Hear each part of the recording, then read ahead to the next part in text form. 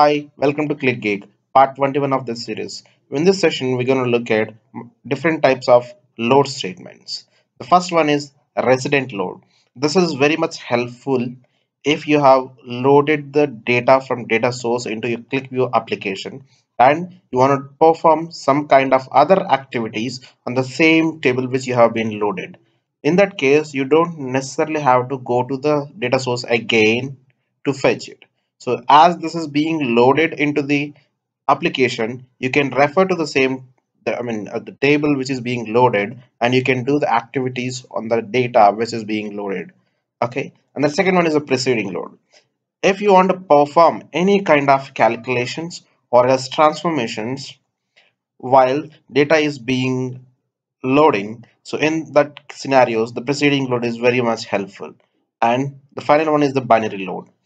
The other one is the binary load. So binary load is nothing but loading one QlikView application into another application. Suppose if you are developing an application in three-tier architecture, the tier one is for fetching data from uh, sources to QVD and the tier two is like uh, fetching uh, data from QVDs and preparing model so which we call it as data model once you have created a data model so on top of the data model we will be visualizing the data. It is better to separate visualizations from the um, data model. So to follow the MVC architecture which is the best practices uh, that has been followed since uh, many years. So it means we will be loading prepared data model from one application, one QVW into another QVW means it will fetch entire data set and the relations into the uh, visualization piece, right? You don't necessarily have to, uh, I mean, uh, create or else copy the same code from model to the visualization part. So that's what binary load is. So let's quickly jump into QlikView. Right. So now we'll see about resident load. Let's create a new document and save it as a resident. Right. So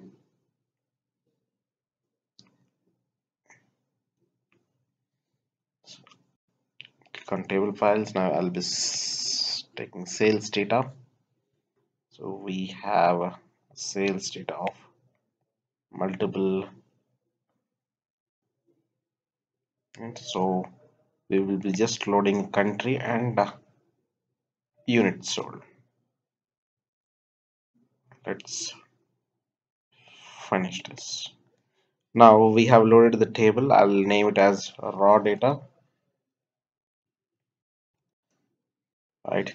So now what is my requirement is I want to extract only first three letters of this even though that purpose can be solved within this statement. I'll do the resident load of this one.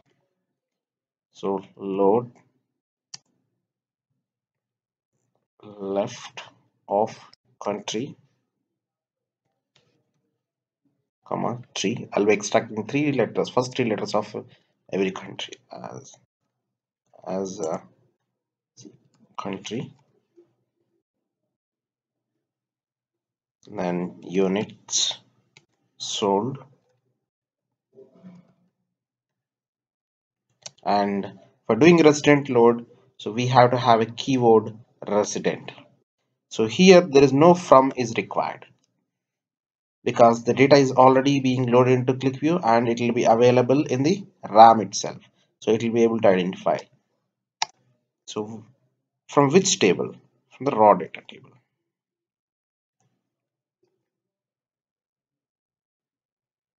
Right? Now if I reload it what it will do is it will read the data from the source and this one read the data from here. Just reload it.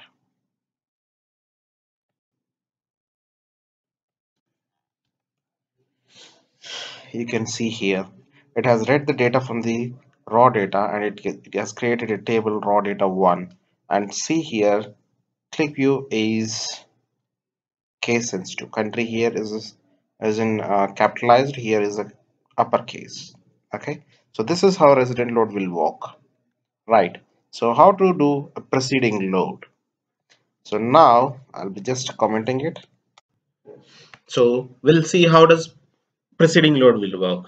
So here this statement will be reading data from the data source. So our data source here is an Excel sheet. Now I want to perform some kind of transformations on the data while it is loading. So how we can do is just right a load and then so now here I'll be extracting right three characters of uh, the country field data. So write of and the field is country.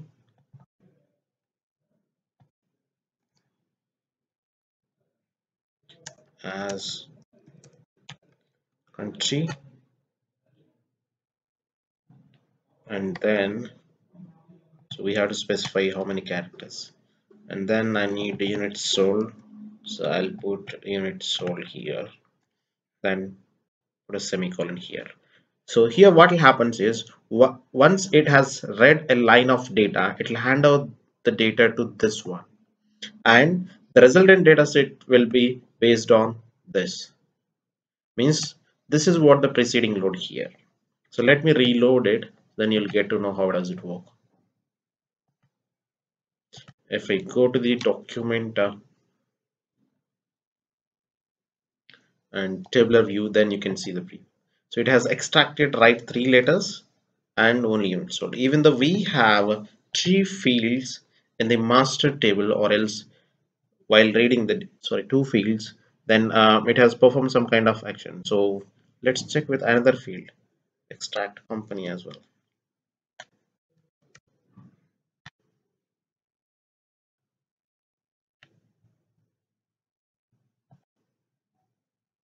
right? So even though we are extracting three fields from the source but the preceding load is restricting it to only two because we have specified only two fields in our preceding load with some kind of transformation. So the output is the top load statement means the preceding load statement will be the output load. So there is no keyword for the preceding load.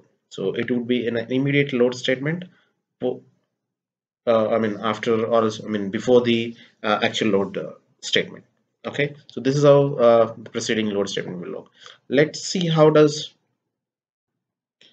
the binary load will work. So binary load is nothing but loading a QlikView application into another QlikView application. So for that you have to click on click I mean QlikView file. Just click on this and select anything here. I'll select uh, data transformation. Okay. So here first thing we need to remember is the binary load statement should be the every i mean very first statement.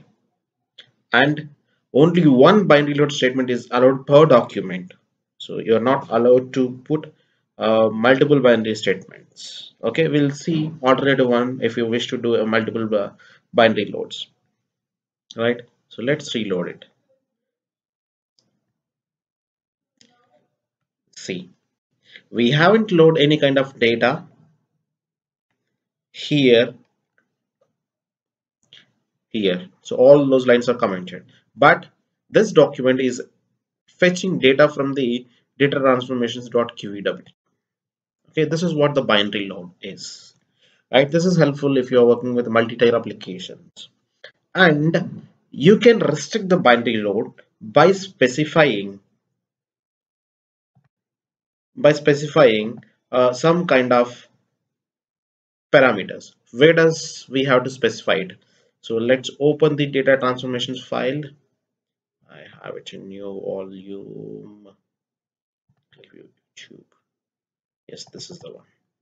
So then now go to settings document properties and opening you have an option called as prohibit binary. Just set this parameter. When check this box and apply it. Then save this document. Now we have made this as prohibited to do binary load. Then switch to the our resident load. Then try to reload it. Then to show the uh, error box saying that binary load is not allowed on this particular document. So this is how you can do binary load and uh, prohibit binary load. So that's all for today. Thanks for watching the video please subscribe